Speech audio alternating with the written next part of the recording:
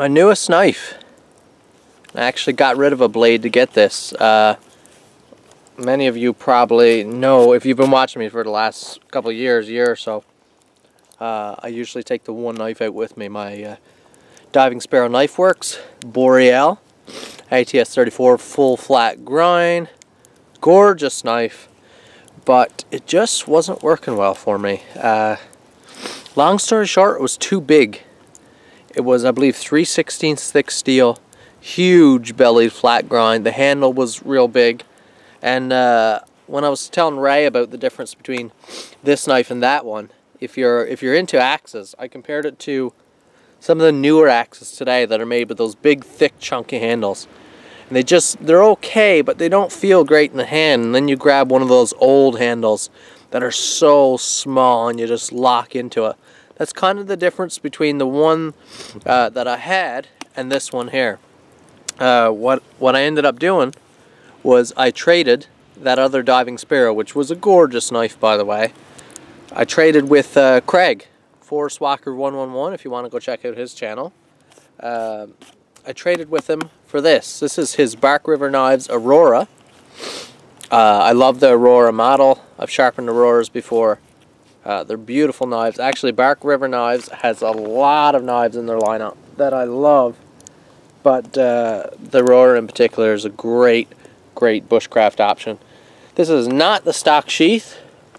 This is uh, Voyager Leatherworks, I believe A custom sheath. Fairly expensive. It's nice. I like it. Scout carry. And it has a dangler. I might make my own sheath for it down the road when I have some time. This is a beautiful option. I like it. Uh, ferro loop. This is the Uberleben ferro rod I have put in there. But the knife itself,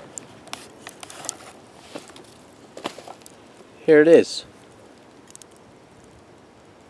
Again, it's a Bark River Knives Aurora. So it's uh, it's almost as long as the knife that I traded it for, but much smaller handle. Nice thin narrow handle, and does it feel good? If you've never held a Bark River Aurora, man, these things feel great in the hand. Uh, white micarta scales, red liners, mirror polished pins, which is great. The biggest difference for me is that it's a full convex blade.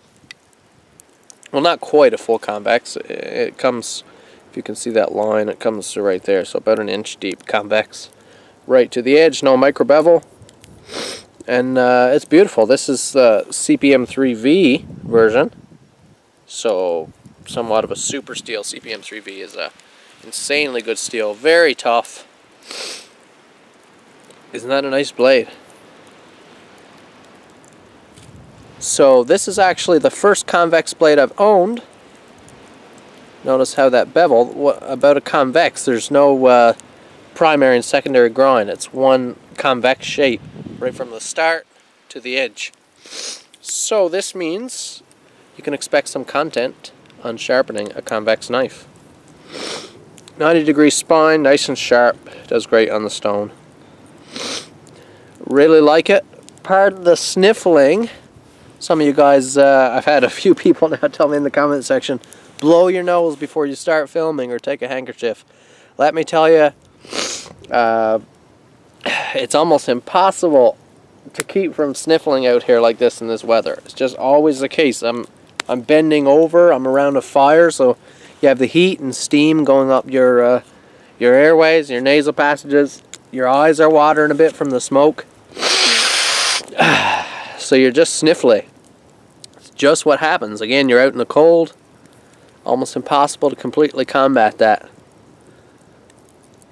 Let me know what you think of this in the comment section. You like this knife? Compare it to, I'll roll in a couple clips of my last knife. What I traded it for. Tell me how, how you like them. Hit the like button. Subscribe to my channel if you're not already. Thanks for watching, guys. We'll see you in the next video.